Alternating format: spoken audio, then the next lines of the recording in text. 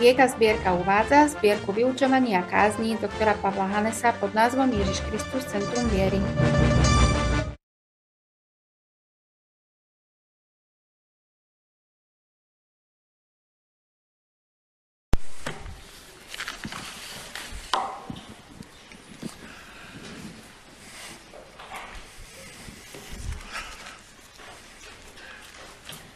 Polnica nového stvorenia som nazval tento veľkonočný príhovor. Niektorí možno nemusíte e, metaforické názvy, tak hneď vám poviem, že polnica v starej dobe bola signálna trúbka, ktorou sa dávali znamenia e, v poli do boja alebo nejaké iné znamenia. Takže je to veľmi ostrá ostrý zvuk, ktorý počuť cez hrkot vravu, cez všetky možné eh, hluky eh, v boji. Takže eh, vzkriesenie je takáto polnica nového vzkriesenia. A o tom by som dnes chcel hovoriť, že teda vzkriesenie do všetkých našich problémov, hlukov, hriechov, radostí a nádejí prináša výzvu k niečomu, čo radikálne mení život a už radikálne zmenilo stav stvorenia. Budem čítať dve miesta e, z Novej zmluvy, z Biblie, v liste Hebrejom z prvej kapitoly prvé tri verše a z listu Efezanom z prvej kapitoly 16. až 23. verš. Takže najskôr Hebrejom, prvá kapitola. Mnohokrát a rozličným spôsobom hovoril kedysi Boh otcom cez prorokov. V týchto posledných dňoch prehovoril k nám v synovi, ktorého ustanovil za dediča všetkého a cez ktorého stvoril aj svet. On je odblesk jeho slávy a obraz jeho podstaty a všetko udržuje svojim mocným slovom keď si vykonal očistenie od hriechov, posadil sa po pravici majestátu na výsostiach. Tak to je zhrnutá Veľká noc v jednej vete. Keď si uskutočnil, v ekumenickom nemáme to si, ale e, tá, ten, tá pôvodina naznačuje, že on to urobil pre seba. Keď si očistil e, od hriechov svet, tak posadil sa po pravici. To, že po pravici znamená, že je exekutívna moc Božia. Ježiš je výkonná moc Božia, takže e, tu máme ukrižovanie a vzkriesenie.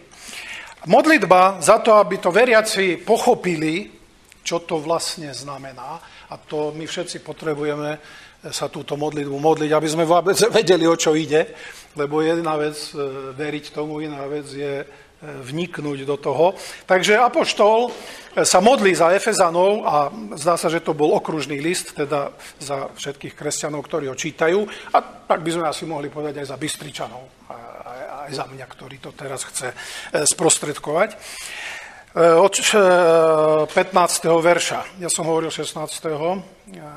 Budem čítať od 15. Preto aj ja, keď som počul o vašej viere v pána Ježiša, o láske, ktorú máte k všetkým svetým, neprestávam za vás ďakovať, keď vás spomínam vo svojich modlitbách, aby vám Boh, nášho pána Ježiša Krista, Otec slávy, keď ho poznávate, dal ducha múdrosti a zjavenia, aby osvietil oči vášho srdca, aby ste vedeli, k akej nádeji vás povolal, aké je bohatstvo slávy jeho dedičstva medzi svetými a aká nesmierne veľká jeho moc pre nás, ktorí veríme tak, ako v nás pôsobí jeho mocná sila.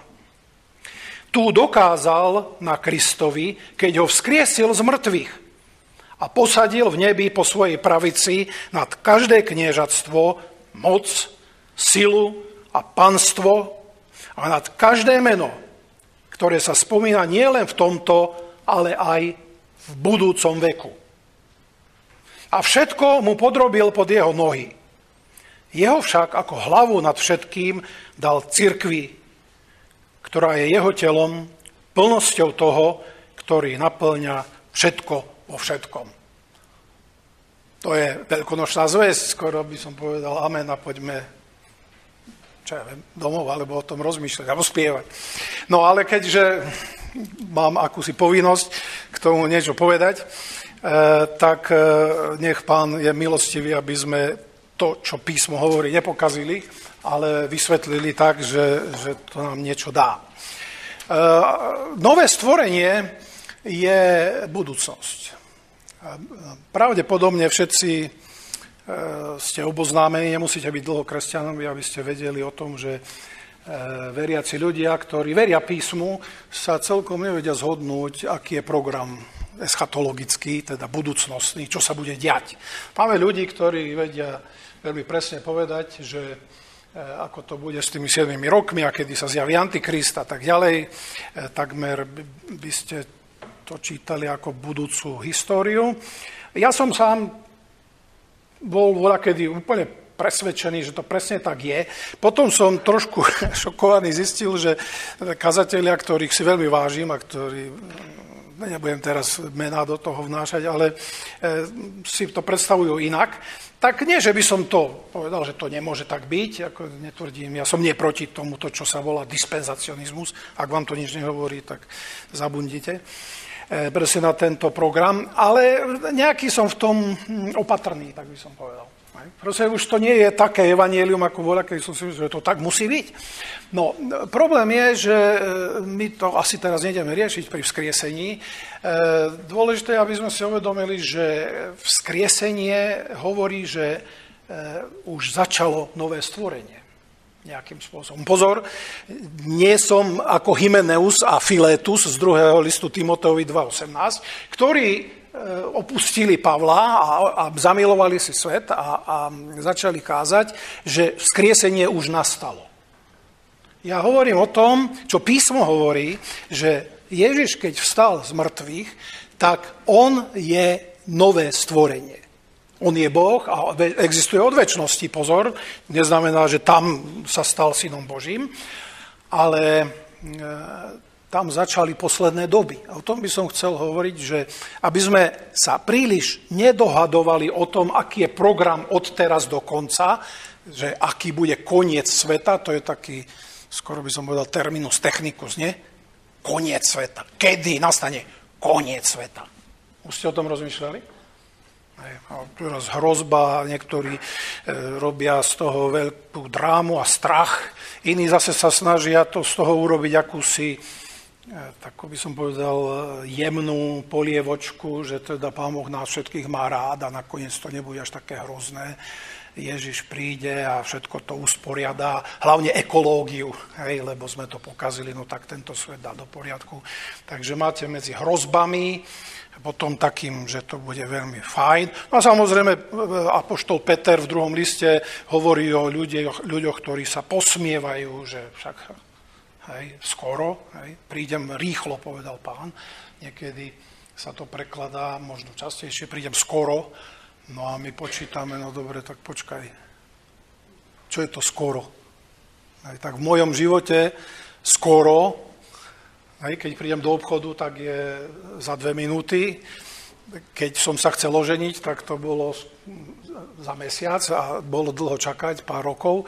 No takže skoro môže byť všeličo, však to veľmi záleží. No ale tu máme nejaký, e, nejaký program, ktorý z Božieho hľadiska je skoro a my už sa škráme za hlavne a povieme, no tak hej, všelijaké predpovede boli.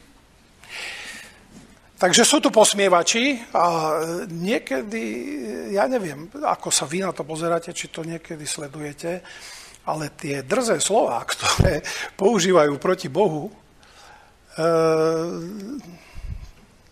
ja mám taký pocit, ako keby, že Boh týmto ľuďom vzal rozum a zatvrdil srdce ako faraónovi. Že teda, keď chceš byť proti mne, tak, e, tak poriadne.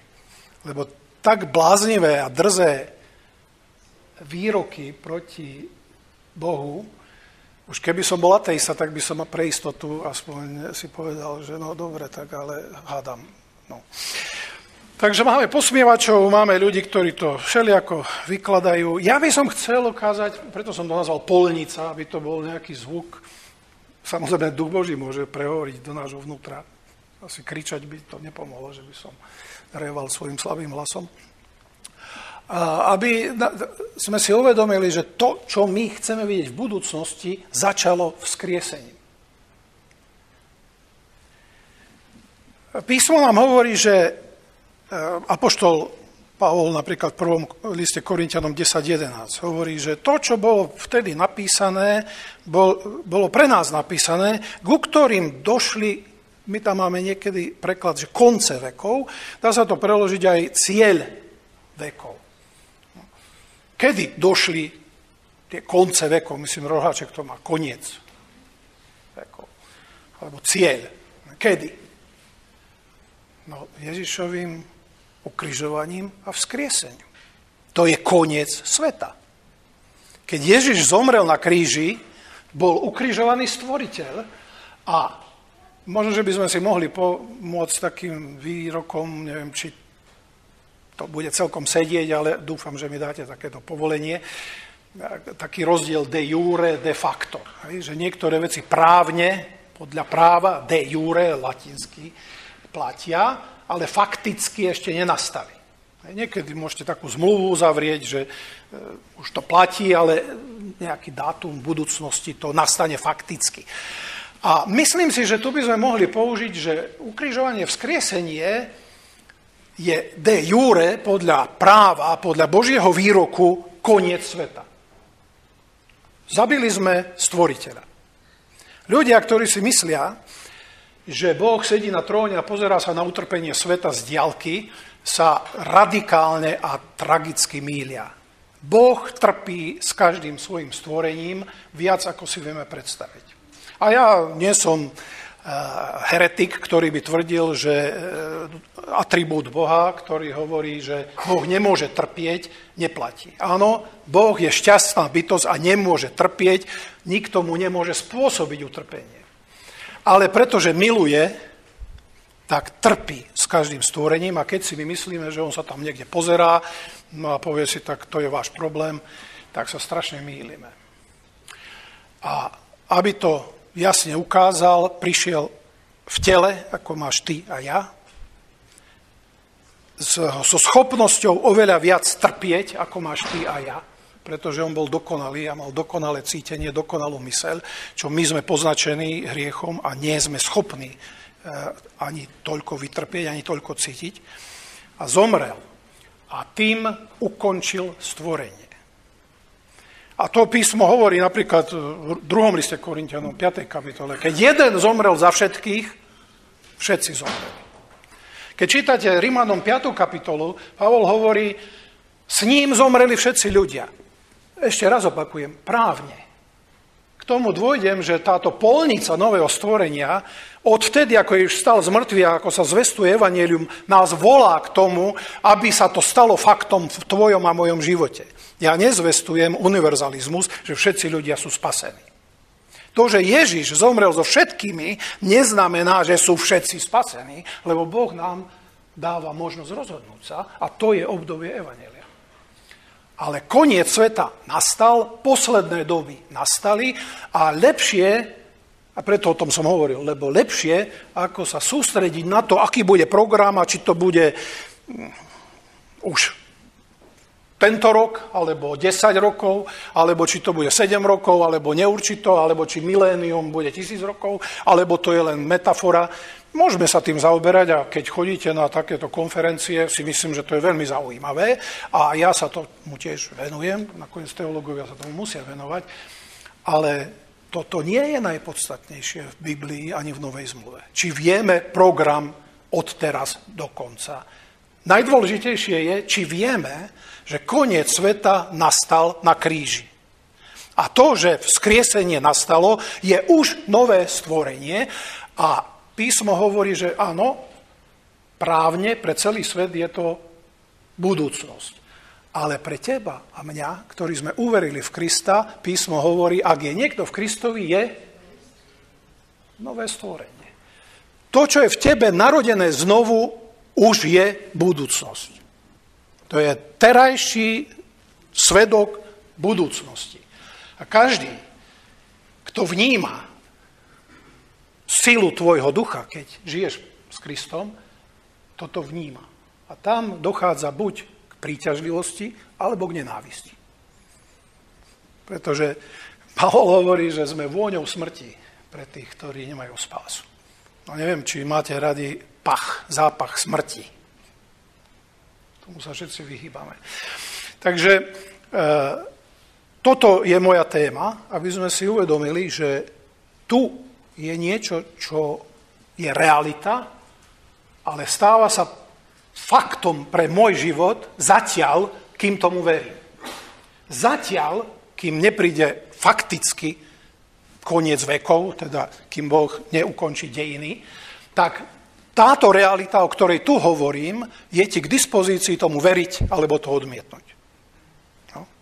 A tu musíme ako kresťania jasne povedať, že sme za slobodu význania, za slobodu toho, ako sa kto vyjadruje a ako kto príjima či nepríjima Boha a nemôžeme legislatívne nikde nariadiť vieru. Boh ju nenariadil legislatívne, ale poslal 12 nenápadných ľudí, ktorí neboli ani vysoko postavení, ani jak veľmi vzdelaní, ani nepôsobili nejakými, ja neviem čím. Hej. A poslal ich do sveta a povedať, hovorte o tomto. A kto uverí, bude zachránený, kto neuverí, bude zatratený. Hej. Veríš? Dobre, Boh ti dáva Ducha Svetého, aby si mohol veriť. Neveríš? Dobre, Možno, že ťa Boh použije na, e, ako týchto, prepačte, nechcem hovoriť silné slova, ale skoro by som povedal, že sú to šialenci. Hej? Pretože no, e, e, na YouTube a kdekade si to môžete pozrieť a je to hrozné, ako sa vysmievajú z náboženstva a z viery. Vzkriesenie nám dáva, a teraz by som rád povedal niekoľko vecí, ktoré, pre ktoré je dôležité vzkriesenie. Skriesenie nám vysvetľuje kríž. E, niekedy sa kritizuje Pavlova kázeň v e, skutky 17, vy si pamätáte, čo tu chodíte pravidelne, že kazateľ preberal e, skutky apoštolské a v 17. kapitole Pavol zvestuje Aténčanom, filozofom, epikurejcom, stoikom vzkriesenie. A oni, čo tento kecal, tu chce čo povedať a keď začalo v skriesení, tak uh, si povedal, to, budeme ťa počuť inokedy.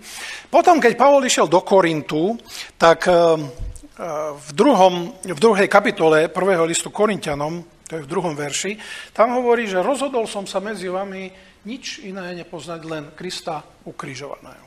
Niektorí ľudia z toho odvodzujú, že Pavol v Aténach nemal zvestovať vzkriesenie, ale mal hovoriť o ukrižovaní. Prečo to vravím? Pretože potom, ako sme preberali, ja som rád, že sme to preberali, lebo som si to konečne všimol, ja som nevedel, čo s týmto robiť. Hej. Skutky nie sú e, záväzne, je to inšpirovaná kniha samozrejme, ale môže zaznamenávať veci, ktoré nie sú úplne správne. A keďže tam nie je napísané, že takto to máte kázať, tak e, môžeme povedať, že Pavol nie všetko, čo povedal, bolo presne, správne, dokonca sa musel raz ospravedlniť, ak si pamätáte, že tam e, sa rúhal najvyššiemu kňazovi a povedal prepáčte. Takže e, omily tam môžu byť zaznamenané, inšpirovanie, ale ľudia sú omylní. No, len tu je zaujímavé, že Pavol toto hovorí Korinte, ale v 23. 24. kapitole trikrát, 24. dvakrát, takže trikrát, znovu hovorí, že ja som tu pre nádej vzkriesenia a farizejom aj všetkým, ktorí tam na tom súde boli proti nemu, hovorí, jasne začína vzkriesením. A z toho vyplýva, že to, čo v Korinte píše, neznamená, že v Aténach to bolo nesprávne. Pretože keby bol zmenil názor, že teda nemáme začínať vzkriesením, tak by tam potom bol povedal, ja verím v ukrižovaného Krista. On povedal, nie, ja verím v vzkriesenie. Vzkriesený Kristus. E, tým nechcem spochybniť, že najväčšie dielo, ktoré Kristus urobil, je ukrižovanie. Tam na kríži Ježiš povedal tetelestaj, dokonané, dokončené. Šlus, Hej, koniec. Na kríži skončil svoje dielo. Ale bez vzkriesenia kríž je pre nás buď totálna hlúposť ako pre Grékov. Gréci to boli vedecky mysliaci ľudia. To, čo Gréci vtedy pestovali ako filozofiu, sa neskôr vyvinulo do vedeckého myslenia. Takže keď počúvate vedcov, ktorí na to idú totálne experimentálne, či by som povedal racionálne, teda čo môžem zo sveta poznať a aplikujem princípy sveta okolo seba na vzkriesenie, tak vám vyjde, prepačte, teraz poviem silné slovo, e, veľká blbosť. A Pavol to hovorí, pre Grékov je to bláznostvo. Jednoducho nezmysel. Vzkriesenie? No nenevajte sa. Vedecký rozum nemôže chápať ukrižovanie a vzkriesenie. A toto je o ukrižovaní. Na čo je ukrižovanie? To je desná smrť. Kto by sa nehrozil toho, neviem, či ste videli tie, už tie pohľad na tých ľudí, čo to síce robia nie na smrť na Filipínach, nie, tam sa nechávajú križovať. Už ten pohľad je, je drastický, no ale to sa nedá porovnať s tým, čo naozaj bolo s Ježišom. On bol rozbitý fyzicky na Frankfurtce, ako slovenské by sme povedali, od bičovania. Tam ste nemohli rozoznať, že kde bola koža, alebo čo celé, celé to bolo tak doriadené, že, že no, trošku mi na Veľký piatok chýba, že ten súcit nevyjadríme s ním. Ja viem, že je na tróne, čítali sme to, no ale to, že tým prešiel, je pre nás oslovenie. Ukrižovanie je jeho najvyššie dielo, ale vzkriesenie dokazuje, a to je Rimanom prvá kapitola, že cez vzkriesenie je on vyhlásený, alebo prehlásený za syna Božieho. Bol synom Božím vždy a pozor, toto neznamená, že stal Božím synom, ako nejaká hereza, sabelianizmus alebo iný, iné učia teológovia si pamätáte to slovo, nie je podstatné. Proste niektorí ľudia učia, že Ježiš sa narodil ako obyčajný človek a sa stal Božím synom, pri, niektorí, že pri krste, niektorí, keď stal z a tak ďalej. Nie, Ježiš sa nestal nikdy Božím synom, Ježiš vždy bol Božím synom a nikdy nebol stvorený. Sláva Bohu. Ale to, aby sme my tomu mohli veriť a to videli, sa stalo to, že bol ukrižovaný, doriadený, potom stal z mŕtvych. A cez túto zväzť ja a ty môžeme sa stretnúť s ním. A toto, čo kazateľ hovoril predo mnou, že my nemáme mŕtvého pána, dokonca ako protestant, viete, ja, ja verím, že to je inšpirovaná kniha, táto Biblia, a že to je naša pozemská najvyššia autorita. Ale je tu jedno riziko, že výklad písma sa nám stane dôležitejší ako stretnutie so živým Kristom. A to je úplne zlé. Takže písmo pri všetkej úcte a, a protestantskej závislosti na tom, že ho vykladáme, nemôže nahradiť živú skúsenosť, Ježiš žije a ja som sa s ním stretol. A dokonca, ako tiež pies, pred piesňami sme počuli, že sa s ním každý deň rozpráva. A ak tento živý Kristus teraz tu nepracuje medzi nami, povedzme cez to, čo ja sa snažím povedať, ak to nepoužíva on, tak môžeme to zavrieť aj z domov. Ako je to úplne zbytočné. Ak Ježiš nežije a nie je tu a nepracuje v tejto chvíli, je to celé trapné. A, a, a ak to tak je, tak potom majú pravdu tí, ktorí sa nám posmievajú. To si treba jasne povedať. Potom je to celé úžasný podvod, historický podvod, absolútny podvod. Ak to tak je. Ale Predpokladám, že preto ste tu, že ste ho stretli. A že viete, že síce je to pre vedecký rozum bláznovstvo, ale ja som to zažil. A ten, ktorý stvoril tento svet z ničoho, stvorí alebo tvorí nové stvorenie z ničoho. Ježiš nemal oslávené telo od väčšnosti. Ježiš nebol ani človek od väčšnosti. To je nové stvorenie. Takže on je zároveň väčší a zároveň má staré stvorenie, ktoré sa zmenilo na nové stvorenie. Wow. Máme fantazického pána. Obdivujte Ježiša. To si zaslúži. O tom to je. O obdive k Ježišovi. Ako chcete milovať a veriť, musíte ho najskôr obdivovať. Ja neviem, ako môžeme veriť niekoho, koho neobdivujeme. No na čo mi to je? Tak, ak ho ľutujem, alebo dokonca si myslím, kto je, či to je všetko, za čo to stojí, no tak eh, láska, skutočná láska vždy pred, predpokladá úctu a obdiv. Mimochodom to platí aj pre manželstvo. Ak začneš partnerom pohrdať, láska je v háji. Môžeš ho ľutovať, ale už ho nemôžeš milovať. Samozrejme, že láska k bezdomovcom je o inom. A to teraz neriešme. Ja len chcem povedať, aby sme si uvedomili, že Ježiš je veľkolepá bytosť a obdivovaná anielmi, všetkými bytostiami vo svete. To začalo pri vzkriesení. Pavol ale hovorí aj iný typ problému, toto mali Gréci, čo dnes by sme mohli nazvať vedecké myslenie. Je tam aj iný problém a to je židovský problém, ktorý rozmýšľali eticky. No, čo Boh povedal a čo je správne. Hej. Celý r- problém židovského myslenia je nie, čo vidím vo svete a ako to vysvetlím, ale čo je pravda, čo je správne, čo je zákon. Tóra, zákon. To bol židovské myslenie. No podľa Tóry, jasne ten, kto bol vyvesený na drevo, hej, teda aj na kríž, tak bol prekliatý.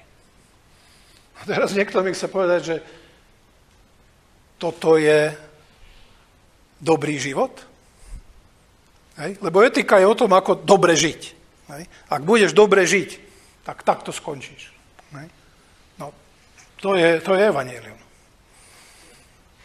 No tak nehnevajme sa, toto je pravda, že to je pohoršenie, že, to je, že to, na tom sa Židia potkli.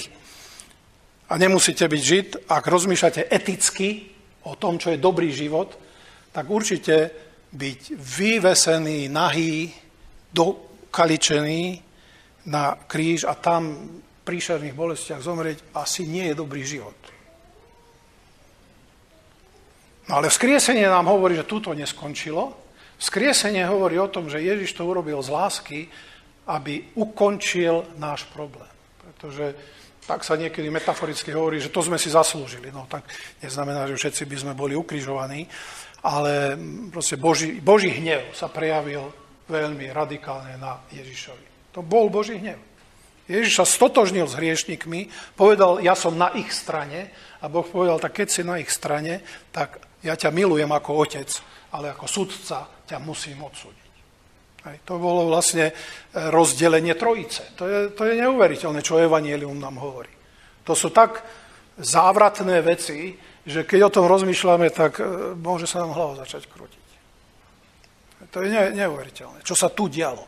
Otec ho miluje, Boh ho odsudzuje. Prečo? Lebo sa postavil na stranu stvorenia, ktoré si toto zaslúžilo.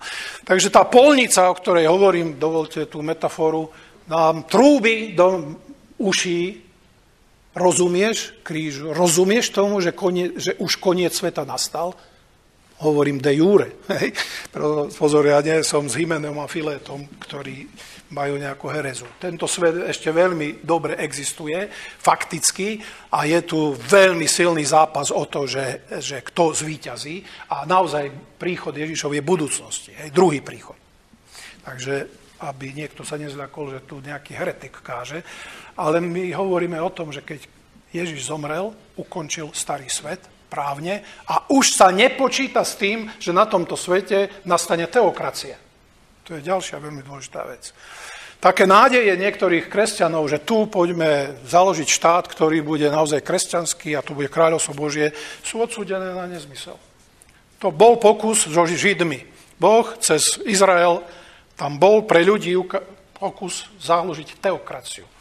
Veľmi zle zlyhal a to je už nie Boží program. Posledná hodina, o ktorej hovorí písmo, je o tom, že tento svet dožíva a dnes je to sa káže evanielium kráľovstva, že prichádza Božie kráľovstvo a my sa dnes na to chceme pripraviť. A vzkriesenie nám dáva nádej. A to je druhá vec. Tá prvá vec, ktorú som chcel hovoriť, ak ste si to nevšimli, je, že teda vzkriesenie nám vysvetľuje kríž. Bez skriesenia kríž nedáva zmysel. Ani vedecky, ani eticky. Nezmysel. Ale keď sa stretneš so vzkrieseným, tak zrazu ti to dáva zmysel. A vieš prečo. Ale je tu nádej do budúcnosti. My teda sa dívame na minulosť, lebo kríž je v minulosti. Ale nádej, ktorú nám dáva e, ukrižovanie, teda vzkriesenie pána, ktorý bol ukrižovaný, je o tom, že vidíme, čo sa s ním dialo ako v novom stvorení. Ježiš áno, vstal do fyzického tela, ale bol nejaký zvláštny. Nie? Spomínate si, že niekde sa objavil zrazu, potom zmizol, potom prišiel cez zatvorené dvere, mohol jesť, hej, tam aby videli, že teda existuje, ale potom odišiel niekde do neba. No, výsmech je, že dobre, tak kde je nebo? Tam na tom smere, alebo na južnej pologuli, hej, dole. No, tak viete, že hneď máme vedecké problémy s tým, že kde je hore a kde je dole, hej, v priestore. Nechajme tieto problémy. Myslím si, že keď vnímame duchovný svet, tak vieme, že vnútri vždy cítime, že Boh je niekde hore a už či sme na južnej alebo na severnej pologuli. Krásne je, že Ježiš síce mal to, čo nazývame fyzické telo, ale mal nejaké nádherné schopnosti. A Ján nám hovorí, že keď on sa ukáže, že my budeme ako on. Tak zvlášť, ja neviem, ako sa cítia krásni ľudia, ale ja sa teším, že sa to zmení. Hej? No, potom samozrejme starší ľudia, ktorí už strácajú energiu, tak e, by radi takéto e, zažili a tak ďalej. A proste tá nádej nám ukazuje, že brat, sestra, čokoľvek máš problém so svojím telom, máš nádej, že budeš ako Ježiš, keď vstal z mŕtvych. Presne tak. Takže toto treba zdôrazniť, že áno, Ježiš stal vo fyzickom tele, ale zároveň to bolo aj duchovné telo a mohlo sa proste meniť. Hej? A 1. Korintianom 15. kapitola to krásne opisuje, že teda sa seje fyzické, ale vstáva duchovné, tak ďalej. Znovu, vedecky, ak na to pôjdeme, tak e, sa dostaneme do trablov, pretože z tohto starého stvorenia nie je možné vysvetliť nové stvorenie. Boh pripravuje niečo úplne iné. To je ako keby ste boli pred starým stvorením, sa snažili rozmýšľať, ako to bude. No tak ako to bude? Pán Boh vie, ako to bude. Nič okrem trojice Božej neexistovalo a predstava, že niečo vznikne, e, bola totálne v Božej mysli. Takže teraz, keď sa my, my si chceme predstaviť, ako to bude, no tak e, asi ťažko si to vieme predstaviť, ale máme nejaké náznaky, čo Ježiš robil ako, ako vzkriesený. Sláva Bohu. Takže je tam niekoľko, niekoľko príbehov. E, nedávno som počul taký dosť radikálny program, populárny, že Marek Evanínu Markovo nehovorí o stretnutiach, takže kto vie, ako to bolo. Ja si myslím, že to, že Marek má krátky koniec a nie je tam o Ježišových stretnutiach e, s ľuďmi, akože že po vzkriesení, naznačuje, že podstatné je, či sa ty s ním stretol. Viete, končí to tak, že ženy videli, že teda je prázdny hrob a báli sa a tým to končí. Hej? Proste nikomu nič nepovedali, lebo sa báli. Hej? No, mm, ja som rád, že tam je aj dlhší koniec, ale, ale keď o tom rozmýšľame, e, práve tento krátky koniec nám môže naznačovať, že e, podstatné nie je, či niekto iný sa s ním stretol. Podstatné je, či si ho ty stretol. Stretol si vzkrieseného Krista?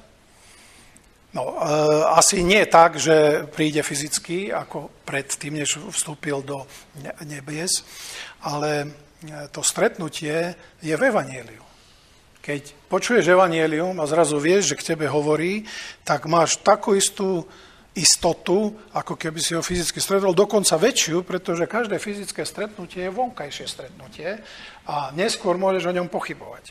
Ale keď Ježiš do teba vstúpi v duchu svetom a žije v tebe, tak e, tú skúsenosť máš trvalé.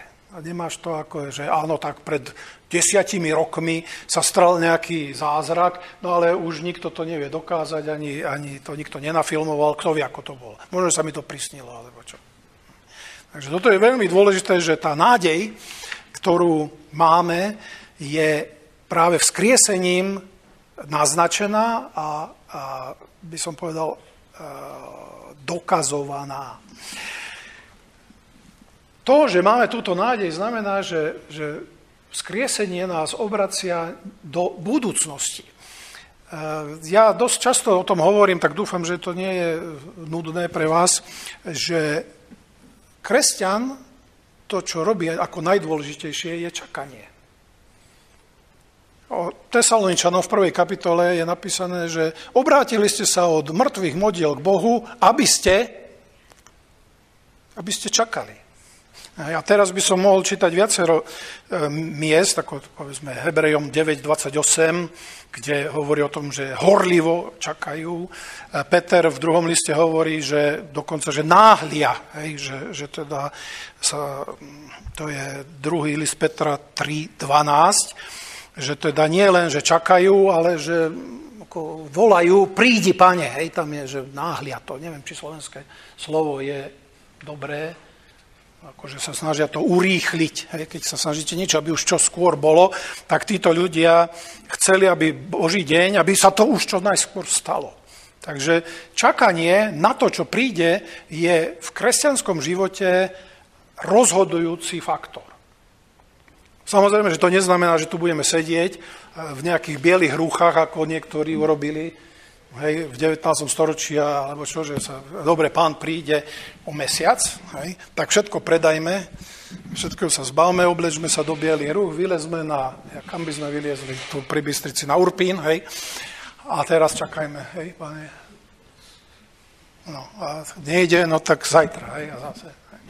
No, tak toto zrejme vidíte, že tomu sa ja snažím vysmiať, lebo je to nezmysel. E, pán, keď hovorí o čakaní, tak e, Lukáš, 12. kapitola, hovorí o čakaní na pána. A tam hovorí, že čakajte tak, že budete oblečení do práce. Hej, to je 12. kapitola, 35. verš. Oblečte sa do akcie alebo do činnosti a vaše lampy nech horia kedy máte lampu zapálenú, no keď pracujete v noci. Hej? Takže aktivita je čakanie a takto čakajte svojho pána. Takže kresťan čaká, to je jeho hlavná dimenzia života, nádej. Ježiš stal z mŕtvych a slúbil, že príde. Už to trvá dosť dlho, na ľudský život je to veľmi dlho, no ale písmo nás upozorňuje, že Boh trošku inak meria čas ako my. A tento istý Peter v liste hovorí, že keď to Boh predlžuje, tak tým ponúka spásu ďalším ľuďom. Takže nečakajte, že vám to vysvetlím. E, na môj život je to dlho a je dobré, že pán nehovoril len o tom, že to príde rýchlo, ale povedal aj podobenstvo o e, tých e, pannách, nie, ktoré pospali, lebo to dlho nešlo potom hovoril o talentoch, že to tiež dlho trvalo, takže máme rôzne upozornenia. Dôležité je, že ty a ja ako kresťan mám čakať, ako keby to bolo dnes. Tak byť pripravený, ako že to je teraz. A e, nedesiť sa, že ak to bude neskôr, alebo ak to bude skoro. Eh, dokonca pán sám Ježiš hovorí, že to otec sám vie, že keď to bude, že ani syn to nevie. No tak to už je vrchol, keď v trojici máme, že jeden to vie a druhý to nevie, tak už zase sme v tajomstve, že ako to tam je, ale s úctou hovorím, že toto si netrúfam riešiť. Takže eh, čakanie na nádej je vzkriesenie nám hovorí čakaj. Lebo to, čo sa vtedy stalo, sa stane teraz oveľa dramatickejšie. To, čo sa len káže a nikto tu nemusí byť a nikto dnes nemusí byť v kostole, čo asi dobré, že to nie je povinnosť. No ale veľa ľudí povie, že také tam nemusí byť, tak na to celkom kašle. Tak ja by som chcel ukončiť tým, že tá polnica, o ktorej chcem hovoriť, je, že nás volá k tomu, aby sme sa rozhodli a pridali na nejakú stranu. Pozor, nie politickú stranu, Eh, keď začala táto republika, táto, čo trepem, eh, komunistická republika za Gotwalda, tak vtedy bolo také heslo, že ten, kto stojí na chodníku, nemiluje republiku. Hej, tak neviem, to si asi už nikto nemôže pamätať, len najstarší pamätníci. Ale komunisti tam vyjadrovali, že máme na človeka absolútny nárok. No a my protestujeme. Ja môžem byť na chodníku a milovať republiku, a ľudí v nej, bez toho, aby som pochodoval a nosil heslá a kričal, ja neviem, za niektorú stranu. Prečo? Lebo republika nemá na mňa absolútny nárok. Ale ten, ktorý vstal z mŕtvych, ten má na teba absolútny nárok. A ak sa nevyjadríš teraz, kým je čas, kým žiješ, alebo kým nepríde druhýkrát, že si na jeho strane a kým to verejne neprehlásiš, teda nevyznáš svedectvo, tak si na opačnej strane. A to, čo komunisti sa snažili nás presvedčiť, že majú absolútny nárok, to nebola pravda, ale Ježiš ti s láskou hovorí, ja som dal za teba svoj život na kríži, krv, a ja mám na teba absolútny nárok. Ak ho nepríjmeš, tvoje rozhodnutie, ale potom na teba bude mať absolútny nárok môj nepriateľ. A o tom je vzkriesenie tiež, a preto som to nazval polnica, lebo polnica bol vojenský hudobný nástroj, teda používaný vo vojne, neviem, či sa inde sa používal, pretože evanielium je bojový pokrik. Nezabudneme na to. Mnohí sa nás snažia presvedčiť, že evanielium a kresťanstvo to je všetko o pokoji, o tom, že všetci sa máme radi a celé ľudstvo bude jedno. Toto je nezmysel.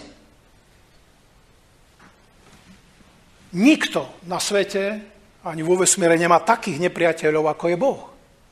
Nikto nie je tak nenávidený ako Ježiš. Zároveň platí opak. Nikto nie je tak na život a na smrť milovaný a tak nasledovaný ako Ježiš a Boh.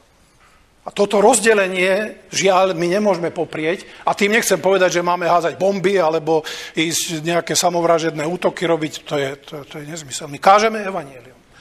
Ale evanielium má veľmi, veľmi radikálny obsah. A moderný človek z konzumerizme, pretože máme plné brucha a plné obchody, vďaka Bohu, že nie je hlad, ako ja si ne, nežiadam, aby to bolo inak, ale ak to je naša najvyššia hodnota, tak nečudujme sa, že by sme radi, aby nás nikto nevyrušoval. Aby nás neznepokojoval tým, že však pozor, prichádza zmena. Pozor, bude sa o teba vyžadovať, na ktorej strane si stál. Hej, dovolte mi ešte jeden taký historický príklad. Keď nacisti tu vládli hej, v slovenskom štáte, tak byť v povstaní, asi bolo, tu sme v Banskej Bystrici, nie centrum povstania, takže byť v povstaní bolo veľmi nebezpečné a išlo o život. No ale keď nacisti padli, tak bolo veľmi zaujímavé byť v tom povstaní. Prečo? No lebo tam sa ukázalo, kto si. Podobné analogicky sa deje teraz. No dnes asi je dosť trápne na niektorých miestach byť kresťanom, vyznávať, verím v Krista, vstal z mŕtvych, prichádza, koľko? 2000 rokov? Ešte si načakáš. E, niektoré veci sa ti nebudú dariť, nebudeš môcť, budeš označený ako blázon, ale ja ti sľubujem mene Kristovom, že príde chvíľa, keď to jediné bude za niečo stáť. Kde teraz si. Či si na strane Evanielia, dobrovoľne, alebo na strane tých, ktorí sa smejú, alebo kašľú na to, stoja na chodníku. Hej. Možno si povedať, že ja som neutrálny, ja s tými bláznami, horlivými kresťanmi nechcem nič mať, ja som slušný človek. Hej, decentný, múdry, vzdelaný, ja to nepotrebujem. Môžeš byť decentný, ale ak sa nehlásiš ku Kristovi, tak ti tá decentnosť nepomôže. My sme nie spasení, pretože sme dobrí ľudia. Na čele so mňou. My sme spasení, pretože bol kríž, že tiekla krv Božieho syna a tento vstal z mŕtvych a ťahá nás k sebe. Preto sme spasení. Inak nemáme čo hovoriť. My nie sme dobrí ľudia. Samozrejme, to do nás má viesť k tomu, aby sme sa snažili byť dobrí ľudia, aby sme ho nasledovali a Ježiš bol dobrý človek. Ale spása nie je preto, že si dobrý človek. Ak si dobrý človek, preto si dobrý, lebo si spasený. Nie opačne. To je známa veľmi dôležitá vec. Takže prichádza presun moci. Presun moci je z moci temna, z moci diabla, ktorý je nazvaný v druhom liste Korintianom 4. kapitole Bohom tohto sveta. Tento svet má Boha. A ten Boh robí mnoho veľmi závažných krokov proti evanieliu, proti kresťanom, proti e, Kristovi a tak ďalej. Ale prichádza transfer, o ktorom hovorí zvlášť kniha Zjavenia, kráľovstva tohto sveta sa stali kráľovstvami pána Krista. Takže to je chvíľa, na ktorú čakáme a o ktorej nám vzkriesenie hovorí, že to zaručenie príde. Takže ak sa vám zdá, že to je dlho, alebo že už by mal nastať 7 rokov, alebo niečo, dajte pozor, to je veľmi zaujímavá téma, ale koniec nastal, začiatok konca nastal, keď bolo ukrižovanie a druhý príchod prichádza tak, ako je na tom vrchu povedali anieli tým učeníkom, že tento Kristus, tak ako odišiel, tak príde. Sláva Bohu. Pane, ďakujeme za to, že je nedela vzkriesenia, že si to môžeme historicky pripomenúť a to slovo, ktoré e, sme čítali a ktoré sme mohli hovoriť, prosíme, aby malo Tvoju moc, pretože inak je to buď grécke bláznostvo, alebo židovské pohoršenie. My nechceme byť ani na jednej strane, len na Tvojej. Amen. Ak sa vám toto video páčilo, prihláste sa na odber tohoto YouTube kanála.